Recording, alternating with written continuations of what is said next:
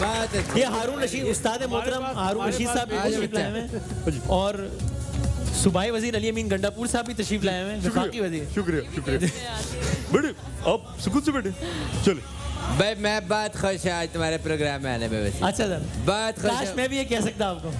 ये तो चला अपनी अपनी बात है लेकिन मैं आपको बता इसलिए मैं तो जब से ये तरीके साहब की हुकूमत आई मैं बड़ा मायूस था। अच्छा। और मुझ जैसा फ़र्ज़ शनास चेहरा शनास दस शनास खुद शनास शख्स शनास बंदे के साथ हमने ला के ये जुए चेक करने वाली मशीन बनाई हुई सर ये वज़ीर हैं हैं, इतने इतने लंबे बाल है अब मेरी बात सुना तालियाँ बजाते हैं तुम लोग। मेरी बात सुना इतने लंबे इसके बाल है मैं बाज का तो खा खा जाता उस दिन जाके आगे जाने से मैं तीन मील इसके पीछे गया आगे जाके देखा इतनी बड़ी क्रेन खींचने वाली इसके मूछे है। मैं डर सारे रोमांच का बेड़ा गर्क हो जाता सर आप क्यों रोमांटिक हो रहे हैं? क्या कोई मतलब? वसीम साहब ये भाईजान मेरे पीछे स्टूडियो में घूमते रहे समझ रहे थे कि मैं खातून हूँ। अच्छा। चुप कर रहा है, इस वजह से भी नहीं पढ़ रहा। था मैं सिर्फ़ ये बात कर रहा था कि मुझे तुमसे बात करने थे आहिस्ता बोले वो बच्चे के कान में दर्द हो गया छोटा बच्चा बेटे।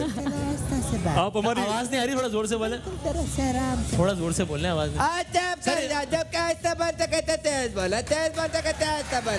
अच्छा नॉर्मल बात। मैं आपका दिल से मशहूर ममनून हूँ अच्छा। कि आपने सेम कपड़े पहन के बता दिया कि आप भी मेरी तरह पीटीआई को सपोर्ट कर रहे हैं। खुश और आप चाचा आराम से बोले। इत्तेफाक है सर सिर्फ़ इत्तेफाक है बस। मैं मेरी गुजारिश आपसे ये। सोनिया मैम से पूछिएगा ये आप मोहतरमा आप शैम्पू कौन सा इस्तेमाल करती हैं? बाल सफ़ेद हो रहे हैं मेहरबानी होगी अगर नाम बता दें प्लीज़ तो शैम्पू से बाल ब्लैक नहीं होते। अच्छा। ये आपसे भी नहीं पूछ सकता आप तो वैसी सफ़ाई हुई भी है।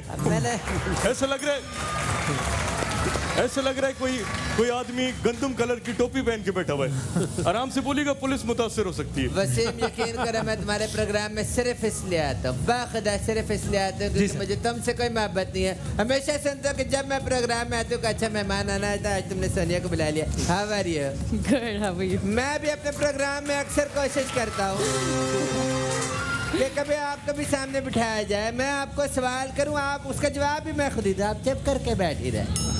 आया क्या ख्याल आप अपनी दाढ़ी का ही ख्याल कर है अपने ये इस सामने इस साफ़ मैदान पर शख्सियत अपनी है। दाढ़ी का कुछ ख्याल करें मुदब्बर शख्सियत है यार हैं? मुदब्बर शख्सियत है। इन्होंने कहा है कि शख्सियत। सवालात करो तो हमने करने हैं कुछ मासूमाना सवालात में मासूमाना खेल में मैं एक छोटा सा ब्रेक ले लूँ